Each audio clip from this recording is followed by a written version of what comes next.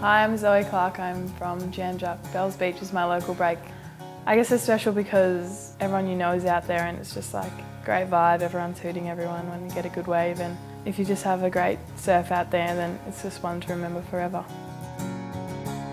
I think she was born to surf. She just loves the water. Never been scared of the surf. You know, at 9, 10 she was going out at six foot bells and Winkipop and so they nicknamed her Little Waimea.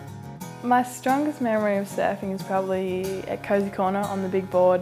Dad pushing me in and I remember when getting out of the water and telling everyone that I'd got 100 or 200 waves and um, having so much fun. She's very lucky. She's got fantastic friends. They're um, a, a really natural bunch of kids, either a surf or surf club, and she seems to entertain them all and amuse them.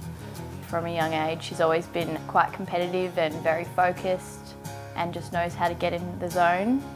I think in surfing, you've really got to put on a show. You know, within the time that you're in the water, you've really got to make the most of it. It's always really good at that. Out in the water, I wouldn't classify myself as um, a show-off, but I'd definitely say that I try my hardest and um, hassle and get the best waves as possible. It's always pretty aggressive out in the water. Everyone here is very supportive and Surfing Victoria seems to um, help me a lot in whatever I want to do. My parents, they definitely help me through anything I need helping through. My sisters are pretty supportive if I'm ever down or need help with anything, need calming down.